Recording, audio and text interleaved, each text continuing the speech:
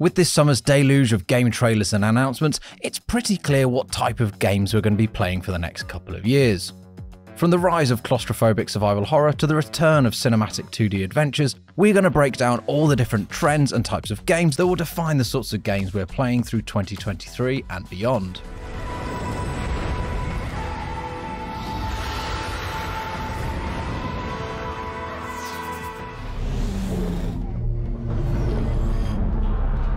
Like space, like horror, well, you're going to be set for the next two years then. The Callisto Protocol from Striking Distance, headed up by Dead Space co designer Glenn Schofield, has an alien invasion hitting a remote prison colony on Jupiter's moon Callisto, where jump scares and messy evisceration are clearly part of the daily routine.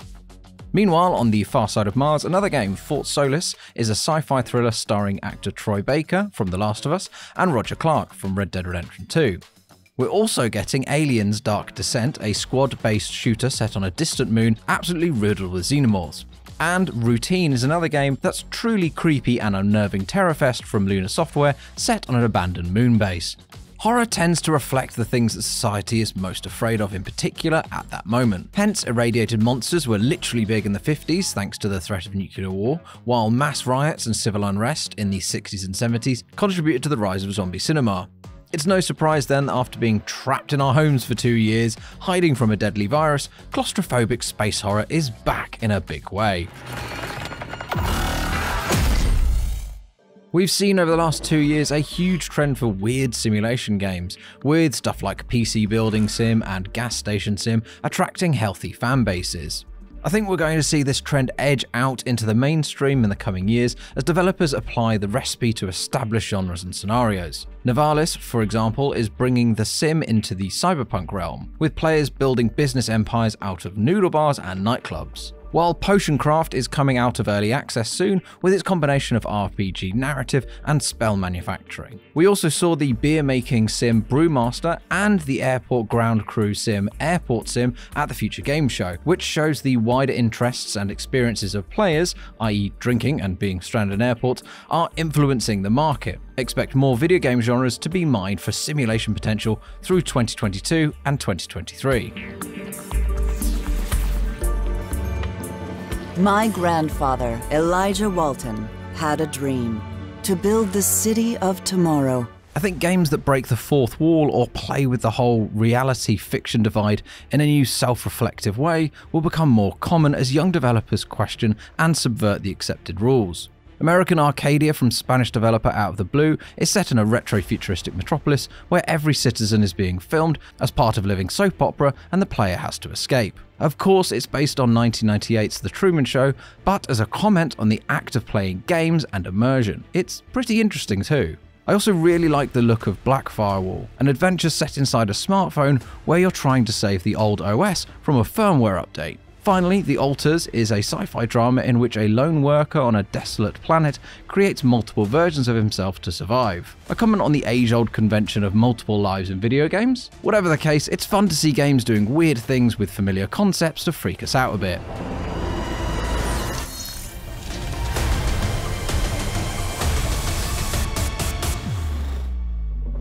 We seem to be seeing a mini renaissance for the strategy game, with both real time and turn based flavours getting re examined and refreshed, often using ideas from other games. Designed by a team of ex StarCraft devs at Frostgiant, Stormgate is a humans vs. aliens RTS with a co op mode inspired by the MOBA game.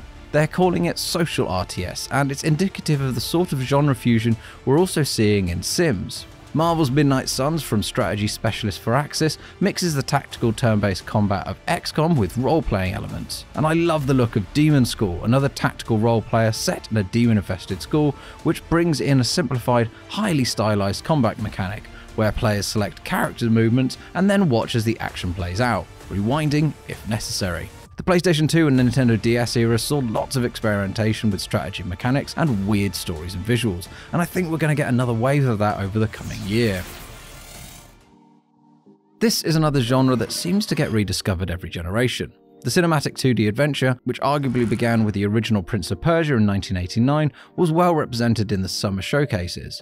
Sci fi platformer Flashback 2 is set to arrive this summer, 30 years after its classic predecessor, with the shape shifting alien morphs returning once more.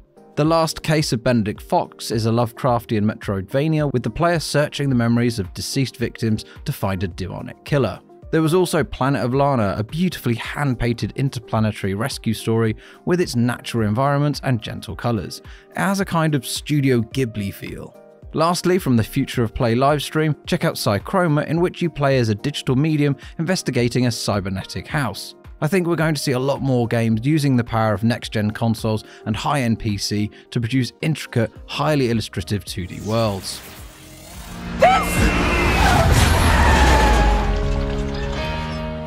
I think we're going to see more games moving away from conventional action adventure stories filled with cinematic sequences, audio logs, and highly scripted linear plotlines. As Dusk Falls got the attention at the Xbox event with its curious tale of two families becoming linked by a dramatic event. Multiple players can take part, shaping the story through text prompts and QTEs, while the game analyzes each participant's personalities. Immortality, the latest FMV game from Sam Barlow, is an investigative horror thriller about a missing actress where you must cut and edit film scenes to solve the mystery. There are heavy David Lynch vibes, and I love the meta feel of it. We also saw the Entropy Center, which uses an interesting time rewind function, and Norland, a medieval kingdom builder that generates stories based on your noble family. I can absolutely guarantee that emergent narratives are going to be huge in the mid 2020s. Christian says that you've got some special thing planned. Yeah, it's like a crazy nine day festival.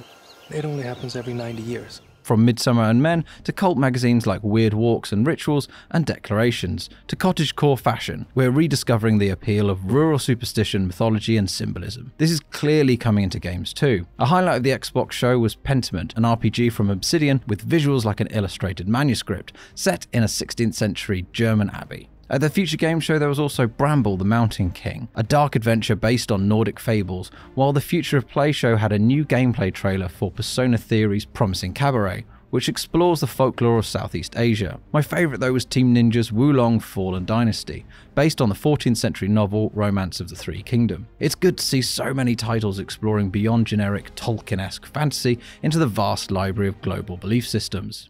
I found you.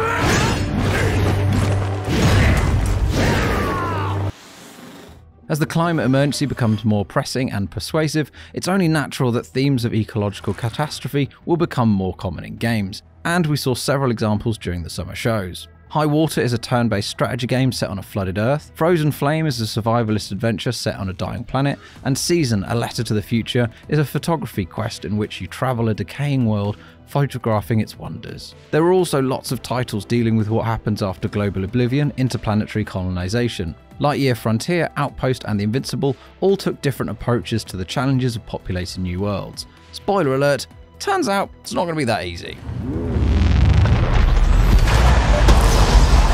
So, what do you think are going to be the biggest gaming trends over the next couple of years? Let us know in the comments below.